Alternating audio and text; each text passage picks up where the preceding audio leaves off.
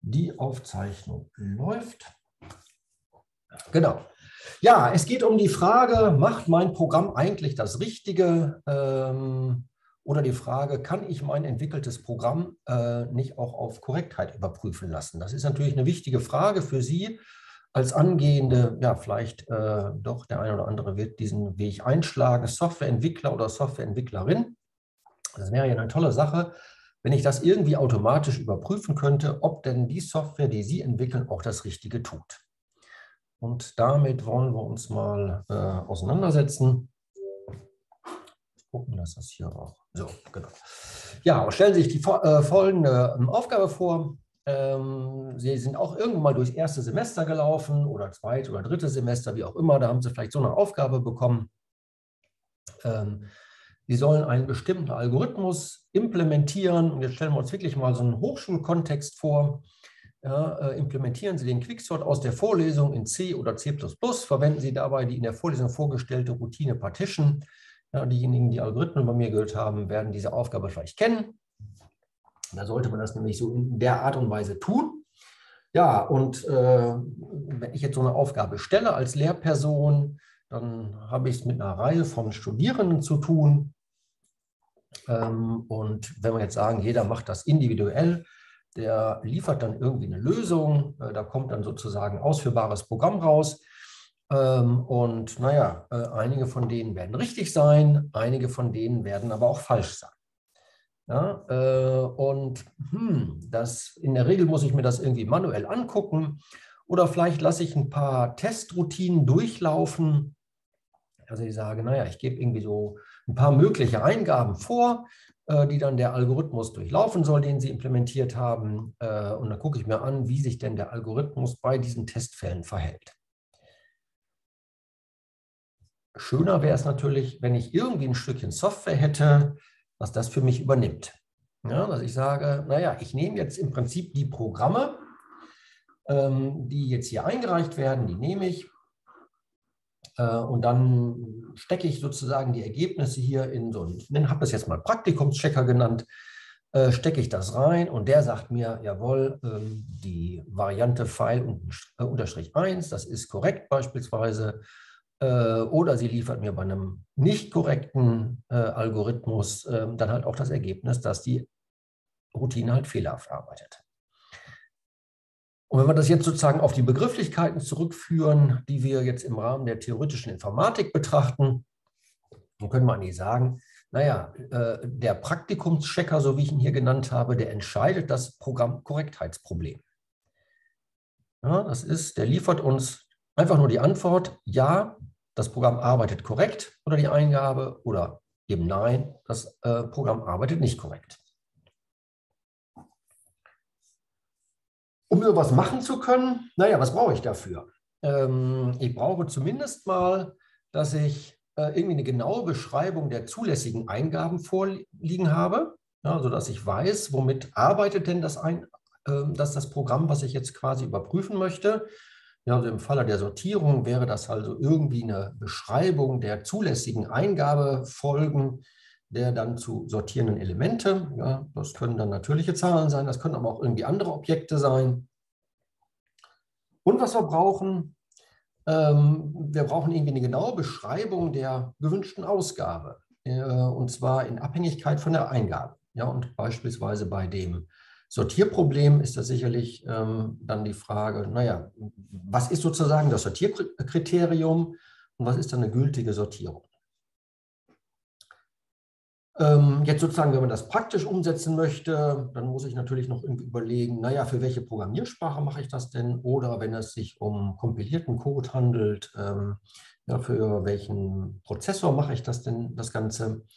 Ähm, aber davon wollen wir mal so ein bisschen abstrahieren. Ähm, wir betrachten das mal abstrakt. Und was ich auf jeden Fall brauche, das ist eine Spezifikation. Äh, Spezifikation ist einfach nur Beschreibung von Ein- und Ausgabe. Und in unserem Fall wäre das jetzt hier eine beliebige Folge. Ähm, genau, wir haben ja hier in der Aufgabenbeschreibung stehen, es sind, handelt sich um ganze Zahlen. Ähm, das heißt, die Eingabe besteht aus einer beliebigen Folge ganzer Zahlen. Da steht jetzt auch nicht, wie viele das maximal sein dürfen. Ja, das können 10 sein, das können 100 sein, das können auch 10 Millionen sein.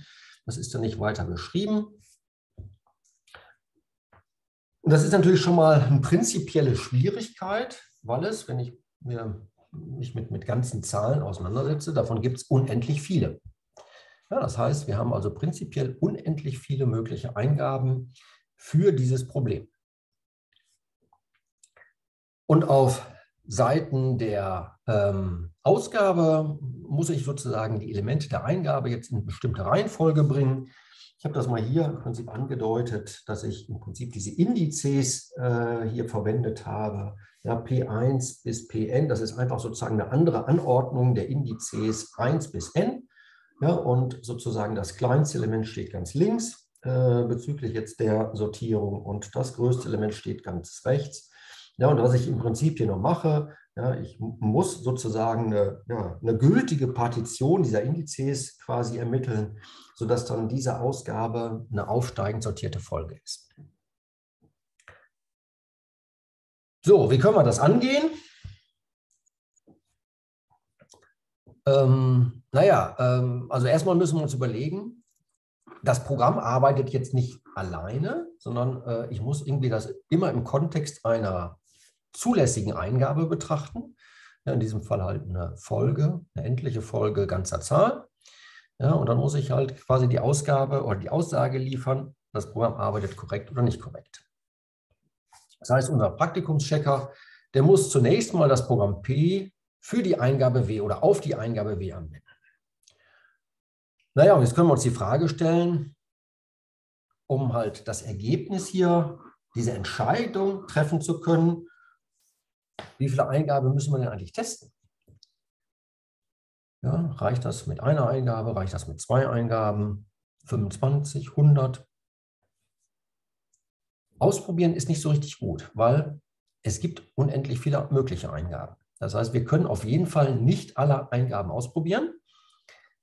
Und die Frage äh, ist, wenn wir jetzt beispielsweise sagen, naja, wir nehmen jetzt mal eine Eingabe her ja, und für diese Eingabe W1, nenne ich die mal, arbeitet das Programm korrekt. Können wir dann daraus schließen, dass das Programm auch für die Eingabe W2 korrekt ist. Ja, also diejenigen, die ähm, im letzten Semester ähm, da die Algorithmen bei mir gehört haben, ähm, ich gehe gleich auf, da ist gerade eine Frage im Chat hochgepoppt, gehe ich gleich drauf ein. Ähm, die das im letzten Semester bei mir gemacht haben, die werden festgestellt haben, naja, ähm, so in aller Allgemeinheit kann ich das nicht daraus schließen. Also sozusagen der Beweis durch Beispiel, das wäre ja, ich nehme eine Eingabe und am Ende ist dann sozusagen, äh, sage ich dann die Aussage oder treffe die Aussage, naja, dann wird es wohl richtig sein. Das kann ich in aller Allgemeinheit so nicht sagen. Ja, also spätestens, ähm, ich mache dann ja immer meistens, äh, gebe ich Ihnen so ein paar Testfälle, ja, und dann, wenn wir uns das ein bisschen genauer angucken in unserem Review, was wir da gemacht haben, dann kriegen Sie noch ein paar weitere Beispiele, wo ich mir vielleicht ein paar, paar ja, mal schwierige Fälle überlegt habe. Ja, das kann sein, dass Sie eine bestimmte Anordnung haben, die ähm, Zahlen in der Eingabe, oder dass es besonders viele sind, ja, und es waren nicht wenige Gruppen, die dann äh, vielleicht, wo das Programm dann auf einen Fehler gelaufen ist, weil vielleicht nicht so viele Werte verarbeitet werden konnten oder wo wir eine bestimmte Eingabefolge hatten, die dann auch nicht so korrekt äh, bearbeitet wurde. Also es ist in aller Allgemeinheit können wir das so nicht sagen. So, jetzt muss ich mal gucken. Die Frage da im Chat war, wäre das dann wieder Induktion? Ähm, ja, Induktion ist ja das Prinzip, dass ich äh, quasi eine Anordnung der Elemente habe, ähm, über die ich quasi eine Aussage treffen möchte ja, und sozusagen eine, eine Regel habe, wie ich von einem zum nächsten Element komme. Ja, das macht man ja typischerweise, wenn ich beispielsweise eine Formel, eine Reihenformel oder Summenformel für irgendwie natürliche Zahlen habe. Ja, gilt das dann beispielsweise für äh, n-Elemente, dann mache ich den Schluss für auch auf n plus 1 ja, und kann dann in aller Allgemeinheit sagen, naja, das ist sozusagen jetzt eine schlüssige Formel dafür. Ist hier schwierig, weil äh, dafür müsste ich jetzt sozusagen äh, mir schon überlegen, ich habe ja hier ganz beliebige äh, äh, Eingaben und ich kann jetzt nicht so ohne weiteres von dem einen auf das nächste schließen, ja, weil sozusagen von dem einen auf das nächste, da gibt es unterschiedliche Möglichkeiten, wie ich vielleicht eine neue Eingabe konstruieren kann. Bei den natürlichen Zahlen ist das einfach. Ja, da zähle ich immer einen drauf, äh, aber hier ist das schwierig. Also das heißt, hier so eine Induktion können wir hier nicht anwenden. Also ausprobieren ist kein Lösungsansatz. Vereinfachen wir das Problem mal so ein bisschen. Und zwar ähm, gucken wir uns einfach nur mal an. Äh, ein ganz einfaches Programmbeispiel hier, eine einfache While-Schleife. Äh, solange x ungleich 1 ist, ja, rechnen wir x ist gleich x minus 2. Ja, und äh, wenn die Schleife dann durchgelaufen ist, dann halten wir das Programm an. So, was passiert? Ja, wenn x ungerade ist ja, und x eine positive Zahl ist, ja, dann werden wir sicherlich irgendwann auch das Ende erreichen. Ja, keine Ahnung, nehmen wir mal das Beispiel x äh, ist irgendwie 5. Ja, dann gehen wir damit rein, while x gleich, äh, ungleich 1, du, x ist gleich x minus 2, das heißt im nächsten Schritt wäre x gleich 3. Äh, dann gehen wir oben wieder in die Bedingungsprüfung rein, äh, dann äh, ist das immer noch der Fall, 3 ist ungleich 1, dann können wir nochmal reduzieren. Dann sind wir bei 1, dann gehen wir in die Prüfung rein und stoppen. Was passiert, wenn x gerade ist? Ja, ähm, hm. Und wenn x eine positive gerade Zahl ist, ja, was passiert dann? Dann überspringen wir quasi diese Abbruchbedingung. Ja, keine Ahnung. x gleich 6, steigen wir ein, x ist ungleich 1, wird um 2 reduziert in der Schleife. Dann sind wir bei 4, äh, wiederholen das, dann sind wir bei 2, dann sind wir bei 0, dann sind wir bei minus 2, dann sind wir bei minus 4 und so weiter und so fort. Ja, also ähm, wenn x gerade ist, dann wird das ein Programm sein, was niemals endet. Zumindest wenn wir mit einer, ne, eigentlich ganz egal, äh, mit welcher Zahl wir da starten, ob es eine positive Zahl ist oder eine negative Zahl, ähm, können wir nicht vermeiden. Wir können natürlich jetzt sozusagen durch Überprüfung dieser Abbruchbedingungen relativ einfach feststellen, ob dieses Programm denn irgendwie anhält, indem wir uns nämlich einfach anschauen, ähm, ob die Zahl, mit der wir hier einsteigen, ob das eine positive, ungerade Zahl ist. Ja? Ähm, dann können wir sicherlich sagen, dass dieses Programm anhalten wird. Ja, also wir möchten jetzt gar nicht mal die Frage klären, ob das Programm irgendwas Richtiges berechnet, sondern wir möchten einfach lediglich wissen, ob dieses Programm anhält. Ja, und das habe ich eigentlich gerade beschrieben sozusagen wie da ein Entscheidungsprozess aussehen könnte. Ähm, ja, wir testen einfach den Eingangswert x, äh, ob das eine positive, ungerade Zahl ist. Ja, dann werden wir sicherlich irgendwann anhalten. In allen anderen Fällen können wir die Frage beantworten, ob das Programm anhält, und zwar mit der Antwort Nein. Wie sieht es bei diesem Programm aus, was, naja, unwesentlich ähm, schwieriger ausschaut? Ja? Ähm, und zwar auch wieder eine While-Schleife solange x ungleich 1 ist. Ja, und dann testen wir, machen wir eine Vollunterscheidung, ob x denn eine gerade Zahl ist oder eine ungerade Zahl ist. Und zwar, wenn x eine gerade Zahl ist, ja, dann können wir x durch 2 teilen. Das tun wir dann hier in Zeile 3. Und wenn x ungerade ist, ja, dann unterziehen wir das hier so einer arithmetischen Berechnung. Wir multiplizieren mit 3 und rechnen noch einen drauf. Ja, und das ist eine ganz, interessantes, äh, ganz interessante Routine, denn hier ist nicht klar, was genau passiert. Ja, es ist ein, ein, ein seit langem in der Mathematik offene Frage. Äh, das ist das sogenannte Collatz-Problem. Ähm, ja, ob man denn irgendwie eine Zahlenfolge findet, ähm, die zu einer irgendwie Periodizität führt. Das heißt, äh, dass sich dann irgendwie eine Zahlenfolge, die sich ergibt, also wenn ich mir zwischendurch den Wert von x immer mal anschaue, ja, also es ist keine Zahlenfolge oder kein Startwert bekannt, sodass dann eine sich wiederholende Zahlenfolge ähm, ähm, ergibt. Ja. Und es ist aber auch keine Eingabe bekannt, äh, sodass dieser Algorithmus nicht terminiert. Ja, aber nichtsdestotrotz, dadurch, dass wir diese Zahl vielleicht noch nicht gefunden haben, können wir jetzt auch nicht einfach sagen, naja, dass das Programm wohl immer terminiert. Ja, und Sie kennen das selbst äh, aus Ihren Programmieranfängen und auch jetzt passiert das vielleicht immer noch mal wieder dass sie eine Endlosschleife äh, produzieren. Ja, das ist sicherlich jedem von Ihnen schon mal passiert. Mir ist das auch schon passiert. Ist nichts Ungewöhnliches. Und das wäre natürlich toll, äh, wenn wir lediglich diese Aufgabe bewerkstelligen könnten. Also wir einfach nur äh, testen könnten, ob denn ein Programm überhaupt anhält.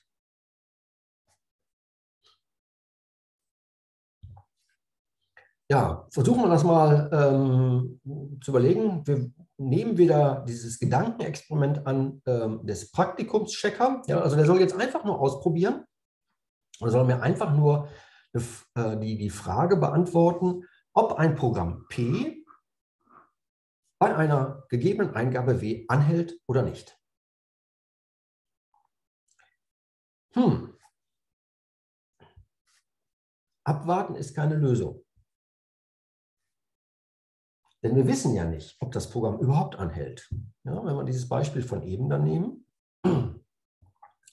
das kann sein, dass das Programm anhält. Es kann aber auch sein, dass es nicht anhält. Ja, und wann soll ich so quasi die Entscheidung treffen? Naja, ich sage mal, ich warte jetzt mal zehn Minuten. Soll ich dann sagen, naja, das Programm, das hält wohl niemals an. Ja, das heißt, ich gehe nochmal hier zu dem Bildchen über, also sozusagen das Halteproblem als Vereinfachung. Ja, hält, dieses, äh, hält das Programm P bei Eingabe W an? Ja, hatte ich gerade gesagt. Ja, wenn das Programm anhält und Nein, wenn das Programm nicht anhält. Wie gesagt, abwarten ist keine wirkliche Lösung. Können wir sagen, naja, wir warten mal jetzt zehn Minuten und liefern dann die Antwort, naja, das Programm wird wohl nicht mehr anhalten. Es könnte ja zwei Sekunden später angehalten haben, wenn wir sozusagen vorzeitig dieses Abwarten abgebrochen haben. Ja, wenn es nicht nach zwei Sekunden später ist, vielleicht zwei Minuten später oder fünf Minuten später. Ja, also wir können nicht einfach sagen, wenn wir eine bestimmte Zeit abgewartet haben, mit Sicherheit das Ergebnis ausgeben, das Programm hält wohl niemals an. Ja, und das Problem, was sich hier sozusagen auftut, ist das sogenannte Halteproblem. Entscheidet also dieser Praktikumschecker das Halteproblem. Das Halteproblem ist die Frage, ob ein Programm bei einer Eingabe W anhält oder eben nicht. Und da wollen wir uns mal überlegen, ob wir sowas denn wohl nicht vielleicht doch konstruieren können.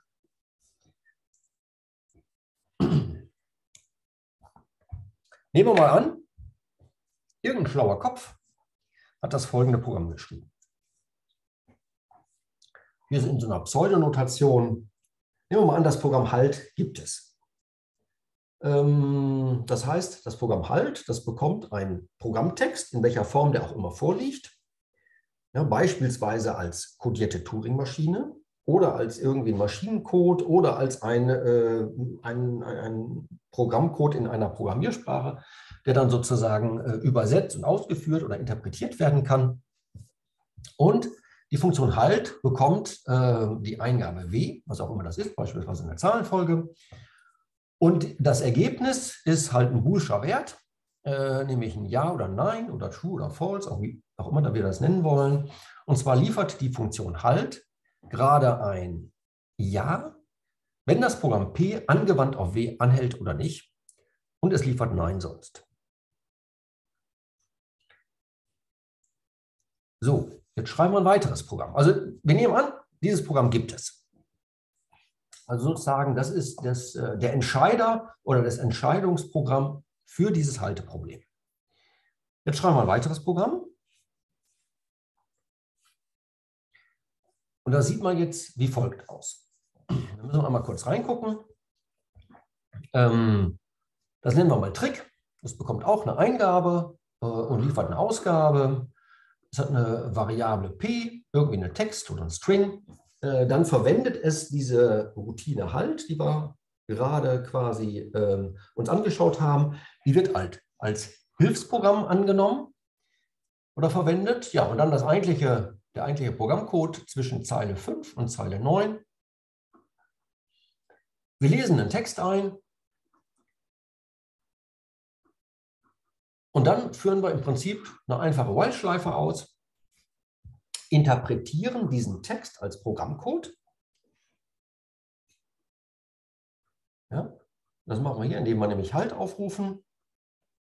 Ähm, äh, und wenden sozusagen den Programmcode selbst auch als Eingabe an. Das klingt jetzt ein bisschen abstrus, aber wir gucken uns gleich an, dass man das durchaus machen kann. Ja, also wenn wir das gemacht haben, also wir lesen hier, müssen wir uns vorstellen, gleich ein Stückchen Programmtext ein, beispielsweise eine codierte Turing-Maschine. Ähm, das liegt ja als äh, in Form von einem, einer Gödel-Kodierung vor, Gödel-Wort, Gödel-Zahl, je nachdem, wie wir es halt kodiert haben. Ähm, und dann wenden wir die Routine Halt quasi zweimal auf dieses P an. Einmal steckt hier quasi der zu interpretierende oder auszuführende Code drin und dann auch stecken wir gleichzeitig den Programmcode als Eingabe für dieses Programm da rein. So, und ähm, solange unsere Routine, die entscheidet ja, das heißt, das ist eine boolische Funktion, die liefert Ja oder Nein oder True oder False. Solange das True liefert, äh, führen wir im Prinzip hier eine Schleife aus und schreiben einfach, ich mache noch weiter. Also nichts Tiefsinniges, sondern einfach eine Schleife programmieren wir da. Und wenn die While-Schleife beendet ist, dann schreiben wir noch, ich höre jetzt auf und stoppen. Gucken wir zunächst mal an, macht das überhaupt Sinn, dieses Gedankenexperiment? Ja, können wir denn im Prinzip hier ähm,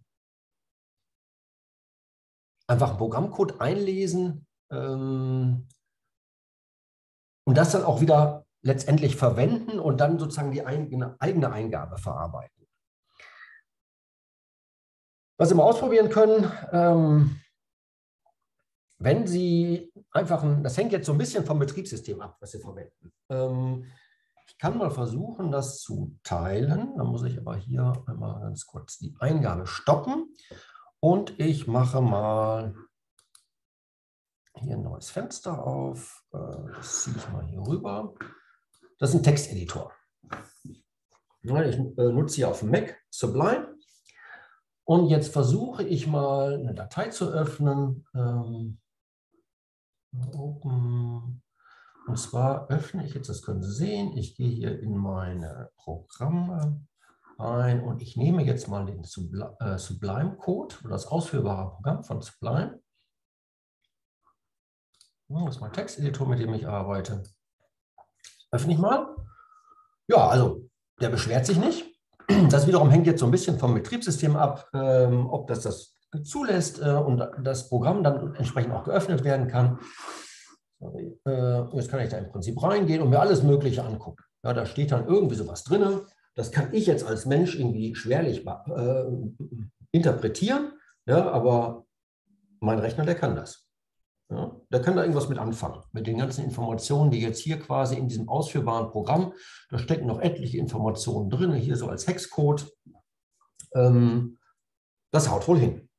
Also grundsätzlich zu sagen, naja, ich wende jetzt mal ein Programm auf sich selbst an. Ja, das ist ja das, was wir gleich bei dem Aufruf von Halt mit zweimal dem Parameter p machen wollen. Ähm, das grundsätzlich ist das jetzt nichts Verbotenes. Ja, habe ich hier gemacht. Ich wende den Sublime auf, den, auf das Sublime an. Öffne einfach die Datei und kann da irgendwas mitmachen. Okay, das heißt, das ist also nichts grundsätzlich Verbotenes. Hier mache ich noch weiter. Äh, genau, da muss ich noch einmal die Animation einwenden.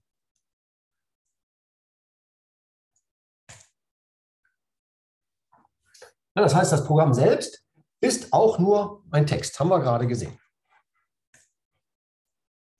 Das habe ich gerade demonstriert. Ja, das heißt, äh, wir können jetzt sozusagen hier diesen Programmtext einfach auch erstmal nur als Text verwenden.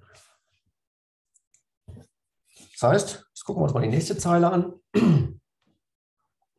Hier wenden wir jetzt P auf sich selbst an. Das habe ich Ihnen gerade demonstriert ja, mit diesem Aufruf von dem Texteditor Sublime äh, auf sich selbst. Das heißt, das ist erstmal nichts Verbotenes. So, jetzt stelle ich mal das folgende Gedankenexperiment an. Was passiert, wenn ich jetzt dieses Programm, Trick, was wir hier formuliert haben, das Acht-Zeilen-Programm oder neun waren es, glaube ich, eben, da war noch ein Kommentar drin. Ähm, also wenn ich dieses Acht-Zeilen-Programm auf sich selbst quasi anwende, genauso wie ich es gerade demonstriert habe mit dem Sublime. Und jetzt können wir uns die Frage stellen, hält Trick gestartet mit der Eingabe Trick an? Ja, also dieses Programm, wenn ich das jetzt als ausführbares Programm betrachte, ja, wenn ich dem quasi die äh, Eingabe, diesen, diesen Programmtext gebe, hält dieses Programm wohl an oder nicht. Ja, ist eine Frage, äh, wo wir quasi nach der ja, Entscheidung fragen, hält es an oder hält es nicht an. Das heißt, es gibt zwei Antwortmöglichkeiten. Die eine Antwortmöglichkeit wäre ja, das heißt, das Programm Trick gestartet mit der Eingabe Trick hält an. Was passiert dann? Gehen wir einfach mal durch. Wenn es anhält, dann erreicht Trick gestartet mit diesem Programmtrick die Zeile 7 und gibt die Ausgabe aus, ich höre jetzt auf.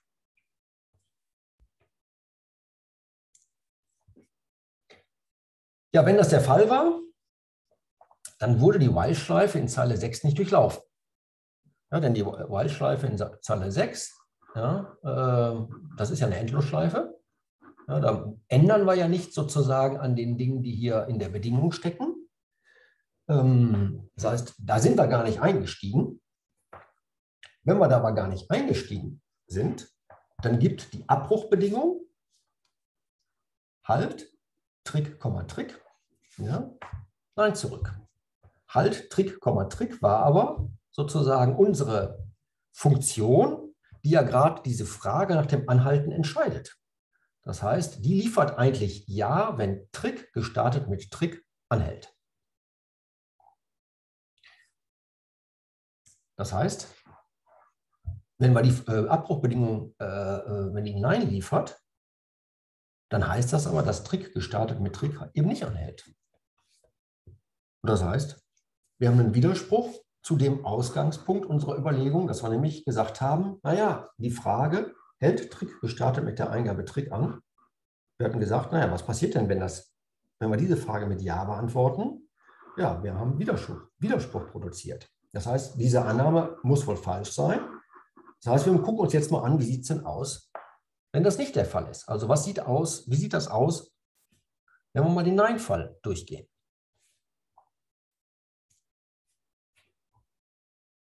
So, dann bleibt Trick gestartet mit Trick in Zeile 6. Das heißt, wir sind hier in dieser While-Schleife, in dieser Endlosschleife äh, und gibt halt permanent, ich mache weiter aus. Mit jedem Schleifendurchlauf wird halt eine Textausgabe, ich mache weiter produziert. Das heißt, wir durchlaufen die While-Schleife in Zeile 6. Eine andere Möglichkeit, dass dieses Programm in der Endlosschleife hängt, gibt es nicht. Das ist sozusagen die einzige Möglichkeit, wo das der Fall sein kann. Das heißt, wir durchlaufen diese Endlosschleife in Zeile 6. Das heißt, die Abbruchbedingung halt von Trick, Trick muss Ja zurückgeben, sonst würden wir die Schleife nicht durchlaufen. Und jetzt haben wir sozusagen genau das gleiche wie eben nur in dem umge umgekehrten Sachverhalt. Das bedeutet aber, dass Trick gestartet mit Trick hält. Ja, und das war aber äh, wiederum äh, im Widerspruch zu unserer Annahme, dass das gerade nicht der Fall ist. Ja, das heißt, naja, nein ist auch nicht richtig. Auch da äh, produzieren wir einen Widerspruch. Das heißt, was wir jetzt haben im Ergebnis, ja, äh, die Frage, hält Trick gestartet mit der Eingabe Trick an? Ja führt auf einen Widerspruch. Das Nein führt genauso auf einen Widerspruch. Ja, und da wir ansonsten, sage ich mal, vernünftig argumentiert haben, äh, bleibt eigentlich nur übrig, dass unsere Annahme falsch war, mit der wir eigentlich in diese ganzen Überlegungen eingestiegen sind. Und die Annahme war, dass es diese Routine Halt von P, W gibt. Das heißt, das ist ja der, der, der Grundgedanke eines Widerspruchsbeweises, den wir jetzt geführt haben. Ja, wir gehen von einer Annahme aus. Die Annahme war die Funktion Halt. Diese ominöse Funktion gibt es. Ja, und alle Überlegungen, die wir angestellt haben, führen auf einen Widerspruch. Ja, und das heißt gerade, naja, dann war unsere Annahme wohl falsch und dass es dieses Programm halt gerade nicht gibt. Ja, und damit können wir eigentlich sagen, äh, das Halteproblem ist nicht entscheidbar. Das heißt, man kann im Allgemeinen Endlosschleifen nicht im Voraus erkennen. Das heißt, im Voraus meint, ich kann durch Analyse des Programmes äh, nicht in aller Allgemeinheit erkennen, ob dieses Programm denn für jede mögliche Eingabe anhält. Das betrifft insbesondere den Fall oder eigentlich nur den Fall, ähm, naja, eigentlich, äh, nein, nein, nicht nur den Fall, sondern insbesondere natürlich den Fall, wo, wenn ich unendlich viele Eingaben habe. Ja, äh, auch für den Fall endlicher Eingaben ist es schwierig, weil ich ja, wie gesagt, nicht testen kann, ob es jetzt bei einer speziellen Eingabe äh, mit Sicherheit sagen kann, ob es anhält oder nicht anhält. Was heißt das für uns? Das erste Ergebnis ist erstmal, naja, diesen Praktikumschecker kann und will es nicht geben. Ist schade, wird gerade so die äh, Ausbildung in der Programmiergrundlagen deutlich vereinfachen, wenn wir irgendwie so ein automatisches Prüfprogramm hätten.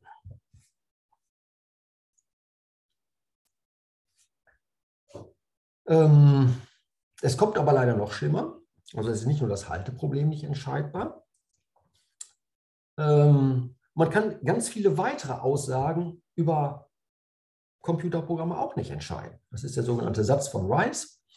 Ähm, also beispielsweise, ob ein Programm irgendwann eine bestimmte Ausgabe macht, ähm, ob alle Ausgaben äh, eine bestimmte Länge haben, ob äh, M eine totale Funktion berechnet oder, oder, oder. Es gibt eine ganze Reihe von Aussagen über Turing-Maschinen, beziehungsweise besser die Sprachen von Turing-Maschinen, die man einfach nicht entscheiden kann. Also wo man nicht sagen kann, äh, ob das in allen möglichen Fällen erfüllt ist oder nicht.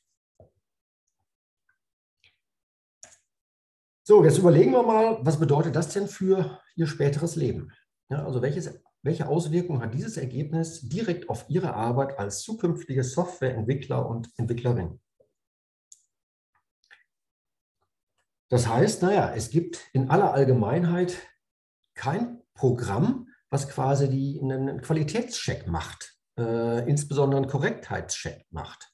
Ja, Qualität kann man schon in gewissen Dingen überprüfen. Ja, was ich sicherlich überprüfen kann, beispielsweise, ob ich irgendwie vernünftige, Vari vernünftige Variablenbezeichner verwende, äh, ob ich irgendwie, ich sage mal, den Programmtext vernünftig eingerückt habe oder, oder, oder. Also irgendwie so formale Geschichten, die kann ich schon prüfen. Aber in dem Sinne, dass ich sage, dass das Programm äh, auch immer korrekt durchgeführt wird oder durchläuft, das kann ich halt nicht in aller Allgemeinheit voraussagen.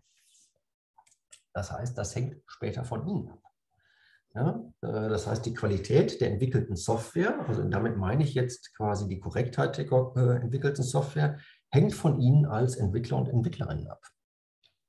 Ja, und das ist natürlich insbesondere, wo, sage ich mal, Rechner, ich habe jetzt einfach mal so ein paar Anwendungsszenarien, wo man sich vielleicht hineinversetzen kann, weil dargestellt, wenn ich Passagier eines Flugzeuges bin oder ich bin äh, Insasse eines Zuges, einer, einer Space Shuttle oder eines äh, Autos, was vielleicht auch zunehmend von äh, Informatik durchtrieben ist und irgendwie selbstständig die Spur hält und fährt, ähm, dann mache ich mir schon Gedanken, ob diese Software, die denn da läuft, auch korrekt ist. Ja? Okay, das war sozusagen in Kurzform und auch eher in, ja, ähm, ohne Formalismus im Prinzip jetzt das Problem, mit dem wir uns jetzt eigentlich beschäftigen wollen, nämlich das Halteproblem. Ja, haben wir jetzt irgendwie eher so, naja, nicht wirklich informell, wir haben eigentlich schon auch formell, ja, da sind schon noch so ein paar offene Dinge, nämlich wie man Programme beschreiben kann, äh, aber der eigentliche Gedankengang, ähm, den haben wir hier jetzt im Prinzip, sind wir einmal durchlaufen, dass halt dieses Halteproblem nicht entscheidbar ist. Ja, und da würde ich jetzt ganz gerne weitermachen. Da muss ich jetzt einmal wechseln hier, das Medium, weil ich das jetzt sozusagen ähm, auf, dem, auf dem iPad weitermache. Stoppe ich einmal ganz kurz hier die, ähm, die Aufzeichnung, die Bild, das Bildschirmteil. Genau, gibt es dazu vielleicht erstmal Fragen?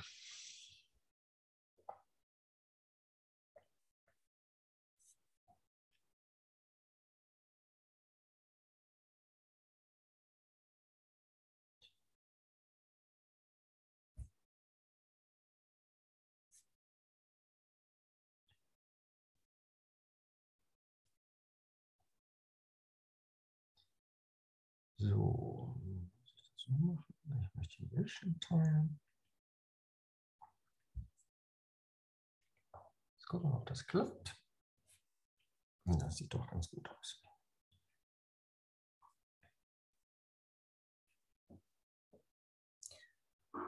So, Also, das war quasi das Halteproblem. Jetzt wollen wir uns äh, überlegen, ähm, dass wir halt auch weitere Probleme äh, ebenfalls nicht entscheiden können. Wir können jetzt für alle möglichen Probleme äh, sozusagen ähnliche Gedankengänge anstellen. Aber ich möchte ganz gerne auch sozusagen eine Methodik vorführen, die hier häufig verwendet wird. Und das ist das Prinzip der Reduktion. Ja, ähm,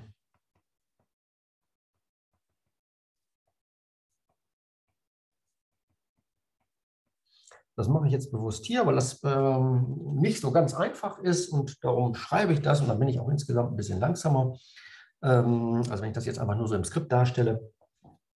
Ähm, okay, und die Überlegung ist, dass wenn ich zwei Probleme habe, U1 und U2, dass ich sozusagen den Schwierigkeitsgrad dieser Probleme irgendwie äh, ja, bewerten möchte und insbesondere diese beiden Probleme in Zusammenhang bringen möchte. Und was wir machen wollen, ist die folgende Überlegung, dass wir sagen, dass das eine Problem leichter oder zumindest nicht schwerer ist als ein zweites Problem. Ja, das heißt, äh, wenn wir sowas schreiben, dann sagen wir, U1 reduzieren wir auf U2 und meinen damit das U1 leichter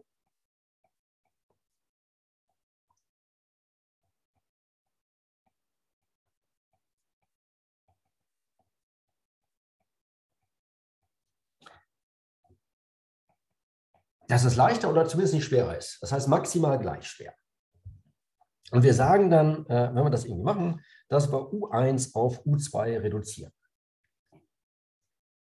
Was bedeutet das, wenn wir das hier im Prinzip hinschreiben? Ja, was bedeutet das? Dann heißt das das folgende, dass entweder gilt, jetzt mit Blick sozusagen auf eine algorithmische Lösbarkeit, also was wir gerade demonstriert haben, ist, dass es offensichtlich Probleme gibt, die algorithmisch nicht lösbar sind. Das haben wir gerade gesehen. Also wir können nicht mit Hilfe eines, einer Maschine oder eines Algorithmus feststellen, ob ein Programm denn anhalten wird oder nicht. In einigen speziellen Fällen mag das vielleicht gehen, aber es geht halt nicht in aller Allgemeinheit. Und äh, wenn gilt, dass U1 auf, zwei, äh, auf U2 reduziert werden kann, ja, dann sind U1 und U2 entweder beide lösbar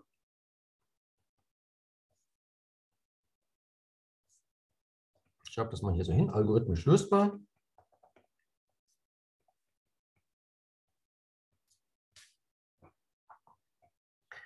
Der Fall, der auch eintreten kann, ist, dass U1 lösbar, ich schreibe es jetzt mal in ganz Kurzform in äh, lösbar,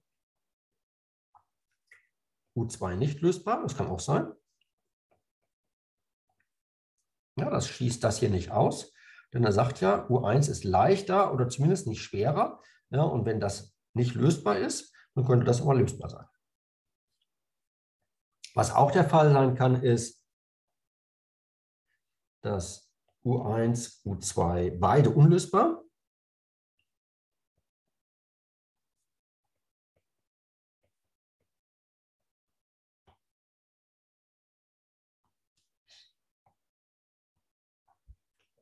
Was nicht möglich ist,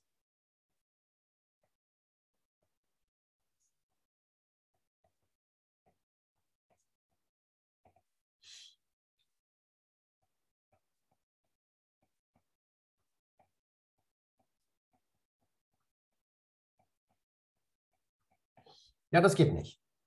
Ja, also wenn U1 auf U2 reduzierbar ist, ja, dann ähm, kann es nicht sein, dass U2 lösbar ist und U1 nicht.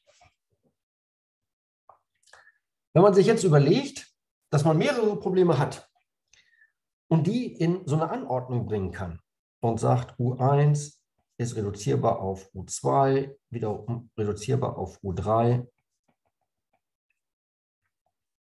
und das auf irgendwie ein UK. Wenn wir jetzt irgendwie zeigen können, dass U1 nicht lösbar ist.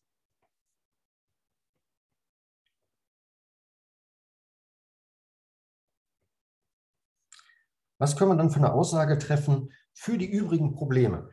Ja, wenn U1 nicht lösbar, was gilt dann bezüglich Lösbarkeit für U2 bis UK?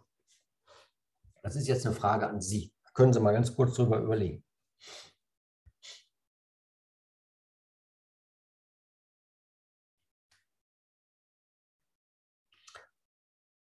Herr Gilians schreibt, dann sind alle anderen auch nicht lösbar. Ganz wunderbar. Sehr gut. Ähm, ne? Wenn U1 leichter ist äh, als alle übrigen, dann ähm, kann in dem Fall, dass U1 nicht lösbar ist, können die anderen auch nicht lösbar sein. Ja, und ähm, das ist etwas, was jetzt sozusagen äh, in dem Kapitel 8 auch passiert. Da sind noch einige Probleme aufgeführt, äh, neben diesem Halteproblem, wo wir halt auch in, äh, darstellen, dass das ähm, halt entsprechend nicht äh, entscheidbar oder nicht lösbar ist. Ja, dann gibt es weitere Probleme, die wir auf genau diese Art sozusagen, wo wir den Nachweis herstellen, dass die halt auch nicht lösbar sind. Ja, indem wir nämlich genau so eine Reduktion herstellen. Und das müssen wir uns jetzt überlegen, wie das funktioniert. Ja, also wie stellen wir so eine Beziehung her,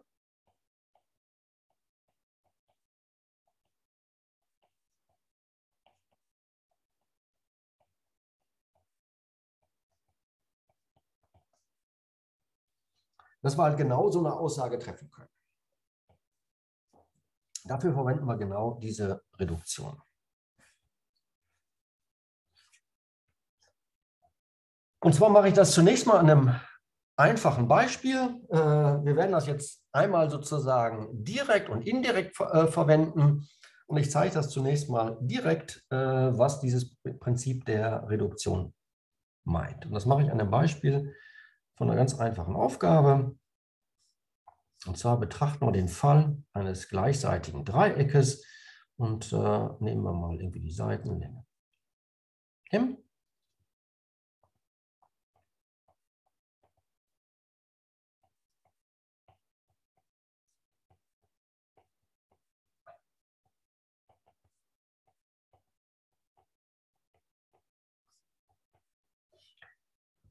Und wir das gerne machen möchten, ähm, die Frage, die wir stellen, das Problem, was wir formulieren. Problem nicht mal U und ein FL. Wir möchten gerne den Flächeninhalt des Dreiecks bestimmen.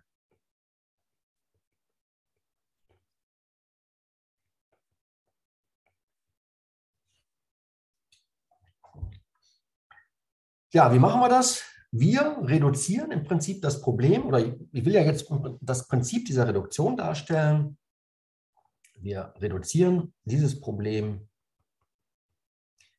UFL auf U, ich nenne das mal irgendwie Delta. Und U-Delta, was ist das? Das ist quasi ein anderes Problem, was wir haben. Äh, und da sei mal das Problem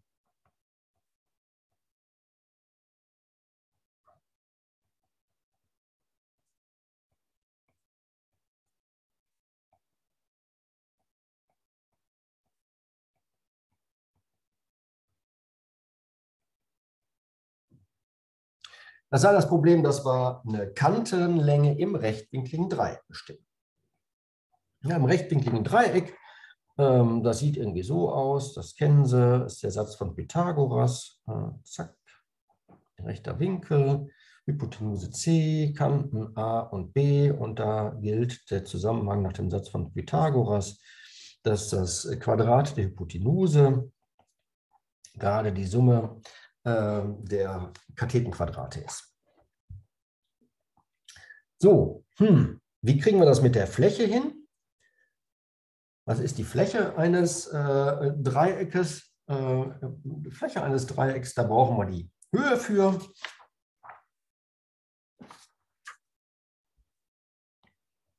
Das heißt generell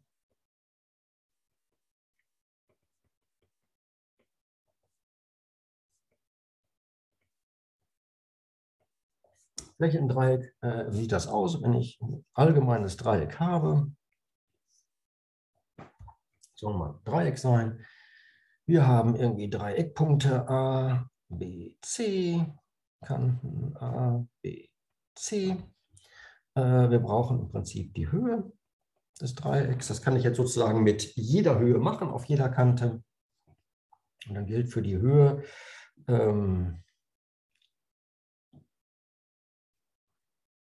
dass die Höhe, das bezeichnet man ja typischerweise auch mit A, dann nenne ich mal jetzt irgendwie groß F, das ist die Fläche. Ähm, das ist 1 C mal HC, wenn das hier die Höhe auf der Kante C ist. Ja, das ist generell im Dreieck. So, und was ist jetzt im Prinzip die Idee bei dieser Reduktion? Das male ich immer ganz gerne so als Bildchen auf.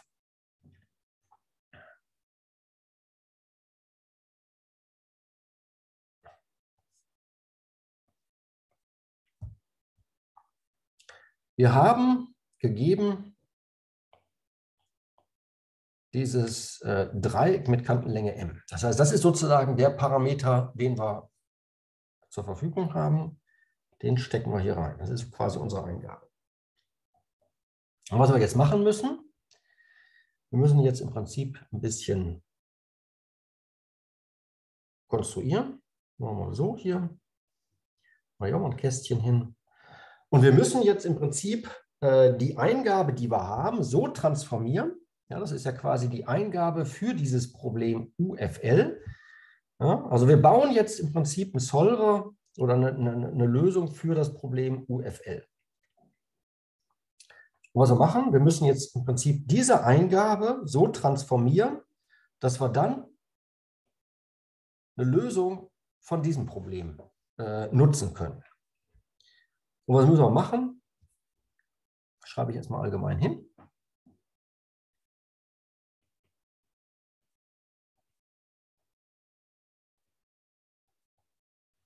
Mache ich ein bisschen zu klein.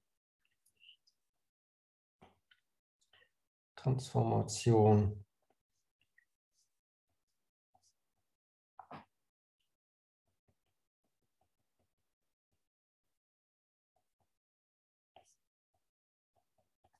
Wir müssen die Eingabe so umformen, dass wir später dann einen Solver für U-Delta aufrufen können. Das tun wir dann.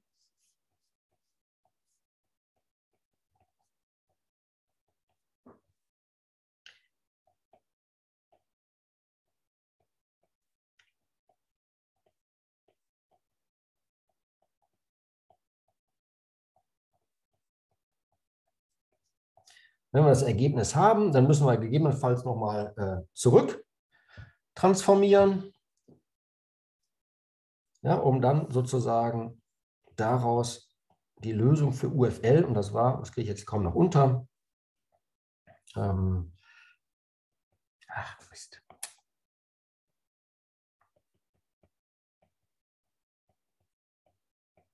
Da kriegen wir den, den Flächeninhalt raus. Ja? Also das, ähm, das ist im Prinzip die Idee dieser Reduktion.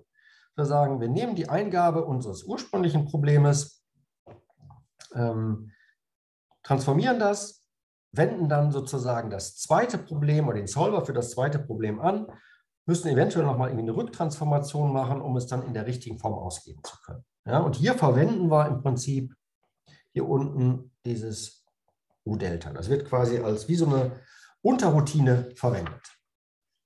Ja, wie sieht das jetzt in dem konkreten Fall aus? Des Dreiecks.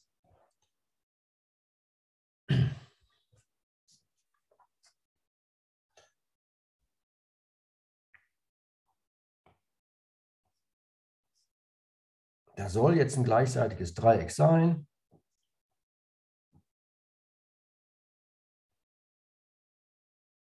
Wenn wir hier die Höhe ziehen, ja, dann machen wir das m da unten mal weg und sagen, naja, dann haben wir hier m halbe und hier ist nochmal m halbe. Ja, und dann haben wir natürlich hier ein rechtwinkliges Dreieck an dieser Stelle. Hm, dann male ich vielleicht auch mal blau ein. Das ist ein rechtwinkliges Dreieck. Das heißt, da können wir jetzt unseren Solver für dieses U-Delta anwenden. Hm.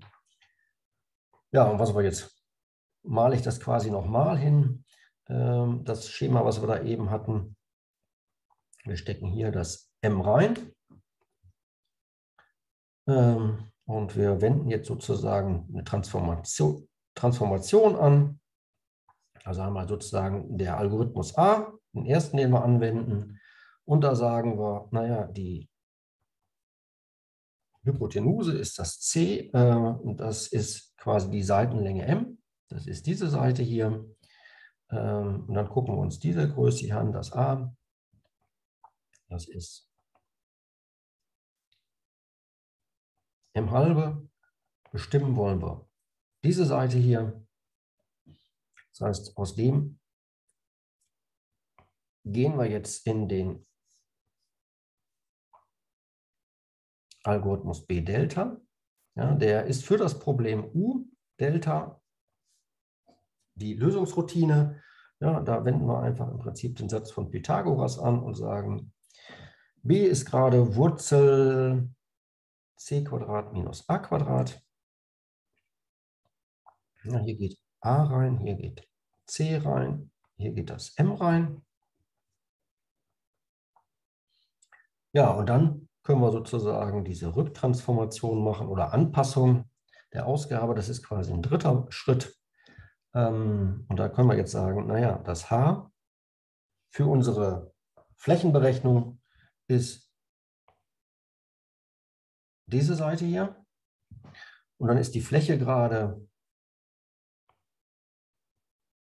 groß F ist gerade 1,5 H mal. Ja, und das ist sozusagen die Idee. Hier kriegen wir jetzt die Fläche raus. Ähm, das ist die Idee dieser Reduktion. Klingt jetzt erstmal viel äh, gewaltiger, als es vielleicht ist, ja, weil es ja letztendlich sowas nur ist wie so ein Unterprogramm. Jetzt zumindest bei, bei diesem Ansatz her, dass wir sagen, naja, wir verwenden für die Lösung dieses Problems, äh, des Berechnung des Flächeninhaltes, einfach hier sozusagen diesen Algorithmus müssen gegebenenfalls ein bisschen anpassen. Hier sollte ich vielleicht noch dran schreiben, was dahin geht. Da geht das B ein. Das M geben wir hier sozusagen auch nochmal rein. Das brauchen wir ja hier auch nochmal. Das ist das M ja, hier für die Berechnung. Äh, hier taucht das ja nochmal auf. Und das meint aber im Prinzip gerade die ähm, Reduktion. Und was ganz wichtig dabei ist, dass das, was wir hier machen und hier machen, ähm, das müssen natürlich, sage ich mal, ja, im Sinne unseres äh, Turing-Maschinen-Sprachgebrauches, äh, werden wir gleich sehen, wie wir das jetzt verwenden werden, müssen das natürlich Dinge sein, die wir auch konkret durchführen können, also die irgendwie berechenbar sind. Ähm, das heißt, das dürfen jetzt nicht irgendwie Algorithmen sein, die wir hier anschmeißen, die wir hier anschmeißen, äh, die nicht lösbar sind, die beispielsweise nicht anhalten, sondern die müssen äh, effektiv berechenbar sein ähm, diese Transformation. Genau, jetzt wollen wir das sozusagen, diesen Gedankengang übertragen auf die Frage, äh, auf andere Probleme. Also, nee, nochmal. Also, das haben wir jetzt sozusagen, ich sag mal, konstruktiv verwendet, direkt verwendet. Ja, wir reduzieren ein Problem auf ein anderes Problem äh, und lösen dadurch dieses, in diesem Fall war es dieses Problem äh, U und ein FL. Jetzt wollen wir das aber quasi indirekt anwenden. Und zwar äh, den Fall betrachten, dass ein Problem nicht lösbar ist. Ja, und jetzt genau in dem Sinne äh, verwenden, wie ich das hier eben gemacht habe, äh, bei dieser Überlegung, ja, dass wir nämlich sagen, wenn wir hier ein Problem haben, was wir als nicht lösbar identifiziert haben, dass wir dann die weiteren Probleme so hier in diese Beziehung dieser Reduktion setzen, sodass wir daraus schließen können, dass dann diese Probleme auch nicht lösbar sind. Ja? Also das ist quasi die indirekte Form. Ja, wir äh, nehmen dann an, dass es beispielsweise hier einen solchen Solver gibt, dass wir dieses Problem lösen können und werden dann herstellen, naja, wenn es das denn dann gäbe, dann wäre das aber auch entscheidbar. Ja, und das haben wir vorher schon als nicht entscheidbar ähm, herausgestellt. Ja, also war sozusagen die Annahme, dass es das hier entscheidbar ist, falsch. Das heißt, das ist sozusagen die indirekte Verwendung. Das wollen wir uns jetzt auch noch mal einmal angucken. Das mache ich auf einem neuen Blättchen. Und zwar gucken wir uns dazu an. Wir formulieren das jetzt quasi als zwei Sprachen. Wenn L1 und L2 Sprachen sind, oder wir können auch wieder sagen Probleme. Ähm, aber wir machen diese, diese ähm, Probleme, werden wir immer formulieren als Entscheidungsprobleme über Sprachen. Und wir sagen da, dass wir L1 auf L2 reduzieren.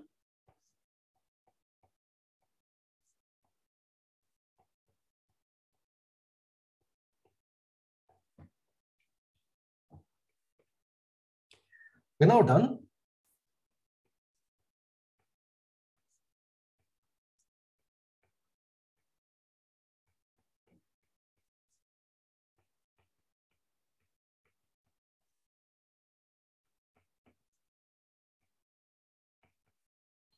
wenn es eine berechenbare Funktion f von n auf n gibt, mit der folgenden Eigenschaft.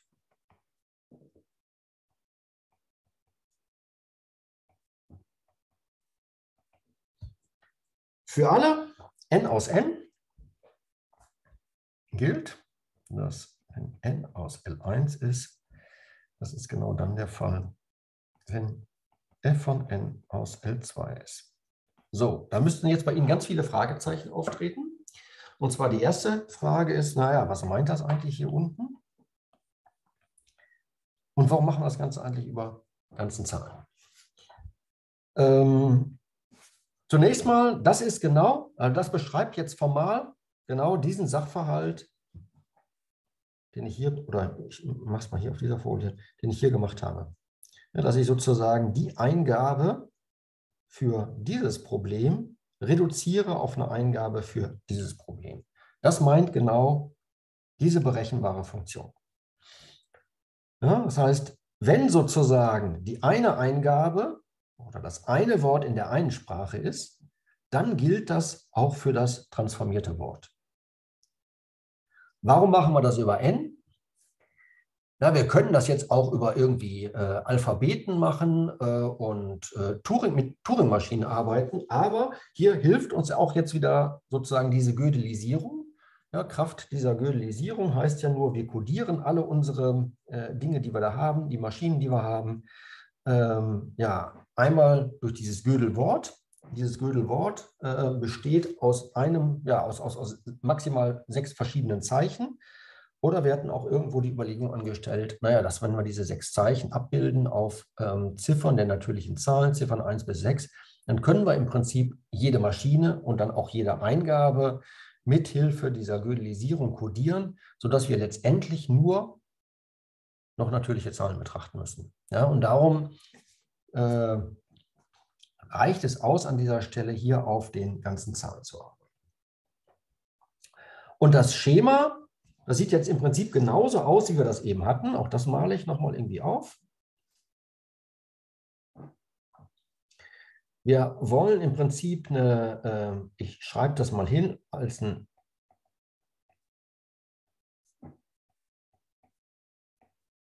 Entscheidungsalgorithmus für L1.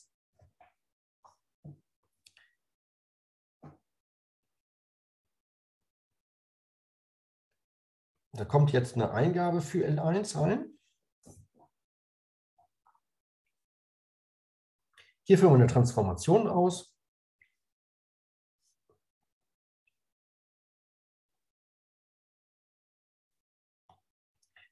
Machen wir wieder blau.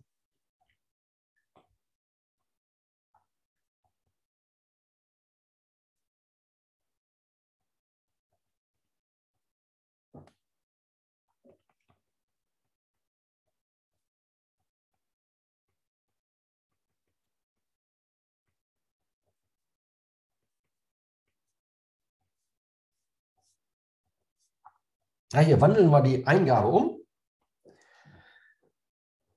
Und zwar die Eingabe für das Problem L1 oder für die Sprache L1 wandeln wir um in die Eingabe für L2. Hier haben wir den Entscheider, machen wir es mal gendergerecht. Hier haben wir jetzt nicht einen Entscheider, hier haben wir eine Entscheiderin für L2.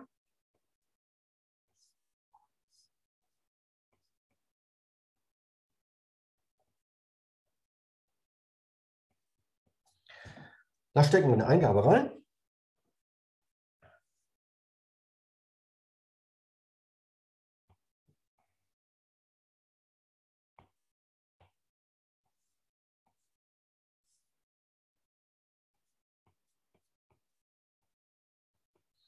Entscheiden heißt immer, wir liefern äh, Nein oder Ja oder Ja oder Nein. Das Ganze hier ist unsere berechenbare Funktion.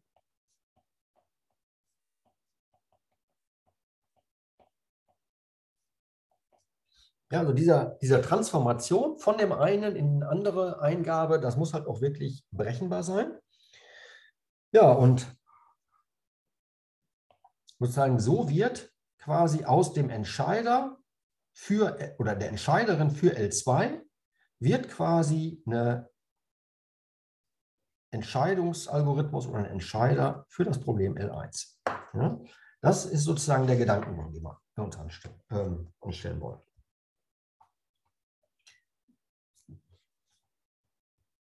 So, wenn wir das tun,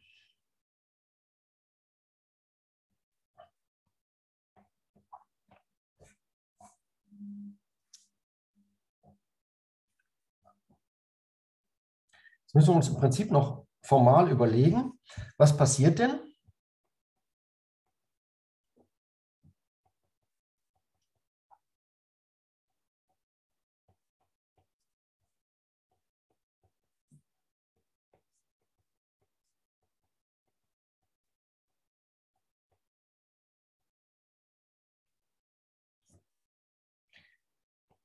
Was passiert im Falle L1 äh, wird reduziert auf L2 und L1 ist nicht lösbar? Das haben wir eben schon sozusagen so intuitiv gesagt, naja, dann kann eigentlich auch L2 nicht lösbar sein.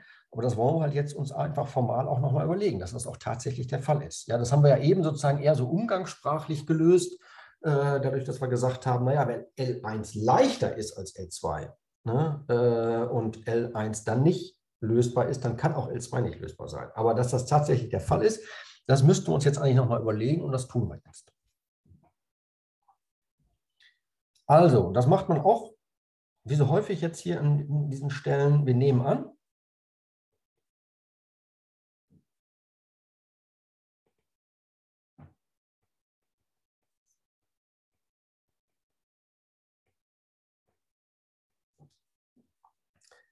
L2 wäre entscheidbar oder lösbar. Ja, was heißt das? Dann gibt es eine Turing-Maschine M2, die L2 entscheidet.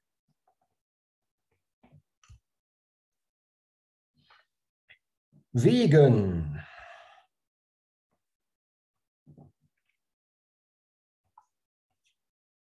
L1 reduziert auf L2 gibt es diese berechenbare Funktion.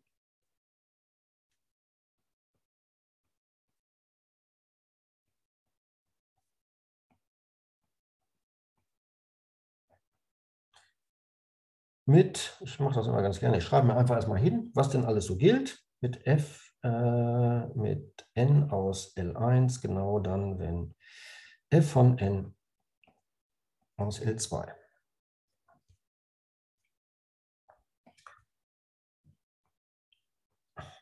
Wenn f eine berechenbare Funktion gibt, äh, ist, dann gibt es auch eine Maschine, äh, dann existiert also eine Turing-Maschine M und ein F, die f berechnet.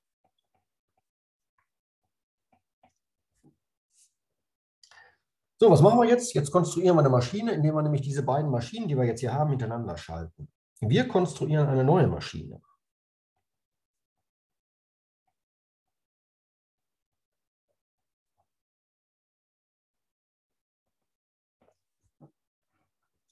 Und zwar sagen wir, wir führen erst die Maschine MF aus und dann führen wir die Maschine M2 aus.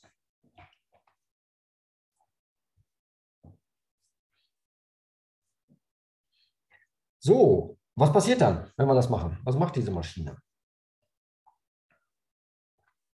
M1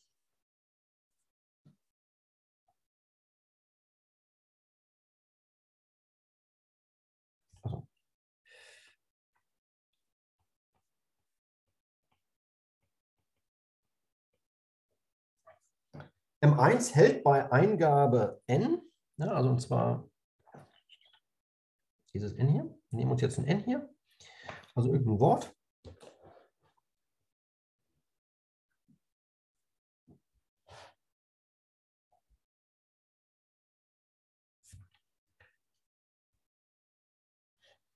Hält bei Eingabe n mit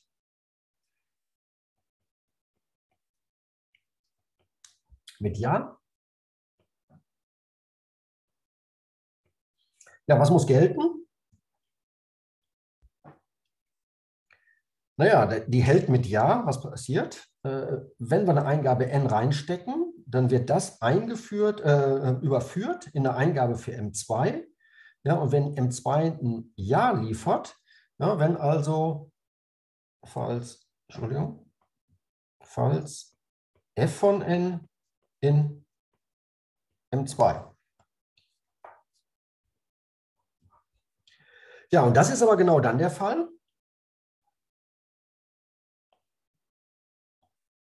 Wenn n aus L1 ist. Ja, das ist aber im Prinzip genau dann der Fall, wenn n aus L1 ist.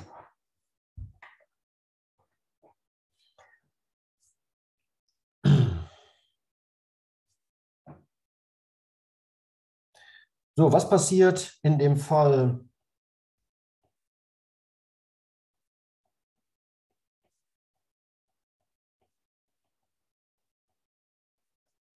hält bei Eingabe n mit einem Nein. Falls f von n gerade kein Element von äh, L2 muss das natürlich heißen.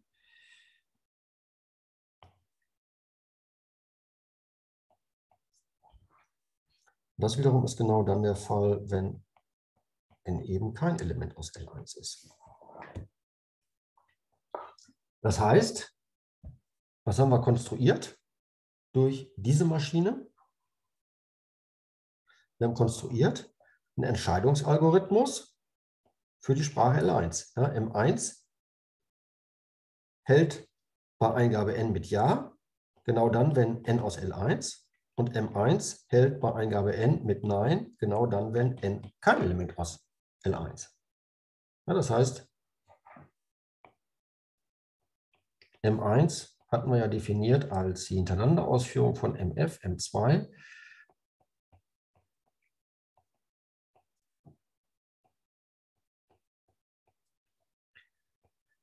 Entscheidet offenbar L1. Ja, und das ist aber ein Widerspruch. Da L1 nicht entscheidbar.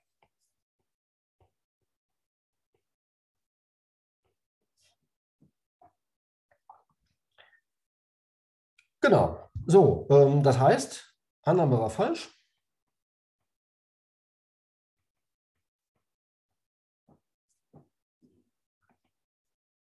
Daraus folgt, dass auch L2 nicht entscheidbar ist.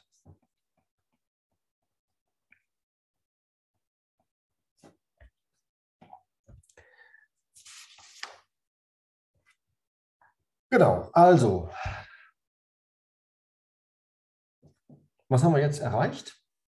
Wir haben jetzt quasi aus der Nichtentscheidbarkeit,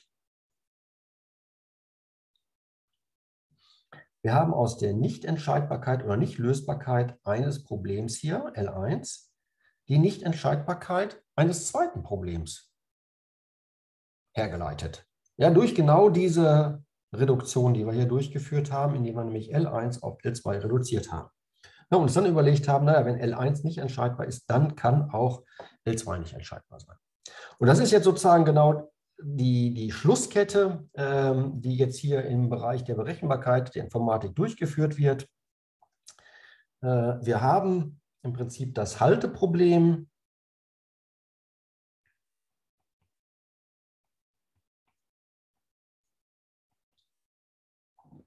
Das gibt es in verschiedenen Formen. Was wir im Prinzip gemacht haben, ist, äh, dass, wie habe ich das genannt? Äh, Im Skript heißt das, glaube ich, H und ein H. Das ist quasi die äh, Menge aller Turing-Maschinen. Ich muss mal überlegen, wie ich das da formuliert habe. Ähm,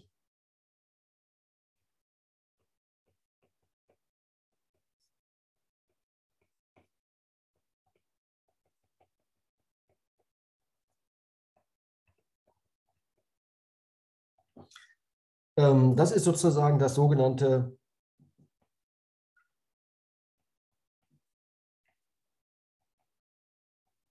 spezielle Halteproblem. Das spezielle Halteproblem ist die Frage, hält eine Turing-Maschine bei Eingabe ihrer, ihres eigenen Gödelwortes? Das haben wir eben im Prinzip eher so informell, ganz am Anfang habe ich das gezeigt.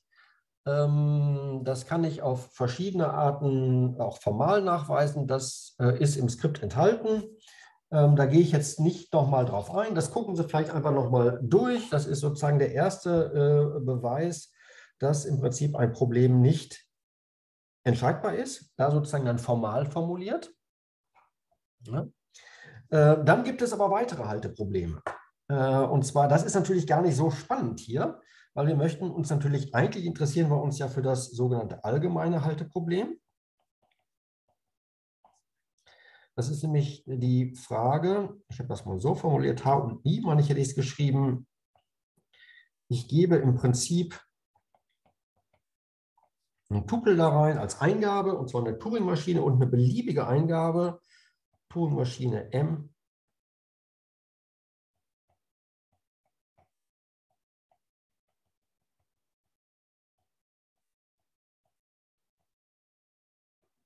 hält bei Eingabe i. Ja, das ist quasi das allgemeine Halteproblem. Also die Frage, ich habe eine Turing-Maschine oder ein Programm gegeben, habe eine beliebige Eingabe und äh, hält dieses Programm bei Eingabe i an oder nicht. Ja? Und auch das wird ähm, sich als nicht erscheinbar herausstellen. Äh, und, was, und die Vorgehensweise ist genau über so eine Reduktion. Ja, ähm, das ist technisch ein bisschen schwierig. Wir machen da sozusagen, es gibt da noch ein weiteres Halteproblem. Das ist das Nullhalteproblem. Das ist das hier, äh, die Menge aller Turing-Maschinen. Und zwar hält die Turing-Maschine M äh,